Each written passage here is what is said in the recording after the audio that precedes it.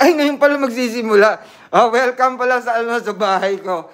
Ang title ng vlog na to ay paano mag ah mag-prepare ang isang banda para sa reunion concert